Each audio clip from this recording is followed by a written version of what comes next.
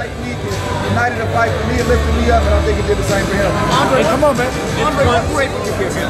Huh? What grade would you give him as a professional? I'm a hard grader. man. I'm a He's hard been pretty happy. Of course, he used to shut out. He probably lost one or two rounds, but I see so much growth.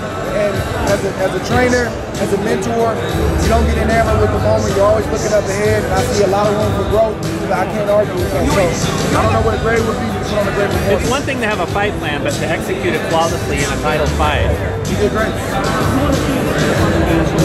It's not about the gas, it's just about knowing like he's comfortable. He has hundreds of fights fighting on the outside, picking guys apart.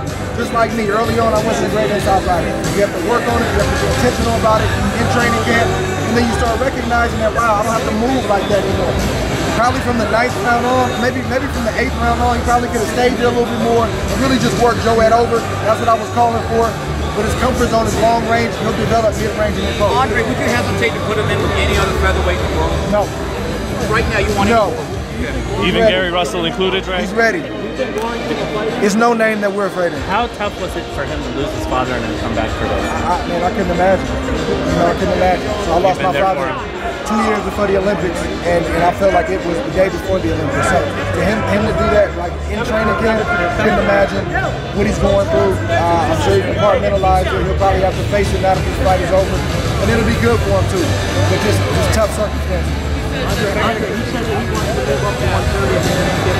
gotta see, man. It's it, like we just gotta talk as a team we gotta see.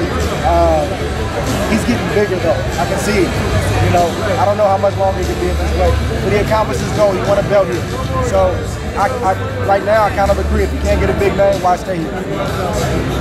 Well, Dre, uh, well, if if it is uh, 130, I know Lomachenko always says 130 his best weight. I mean, that's looking far ahead. But could you see that fight ever happening with Shakur and Lomachenko at 130 pounds? It's possible, but you know, Loma, you know, Loma's facing big names. I mean, is he gonna wait around for Shakur? I don't know.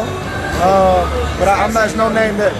There's no name that we're, we're afraid of or hesitant of. You know, everything is timing. But guys gotta get going. I think that's premature right now. Thank you so much.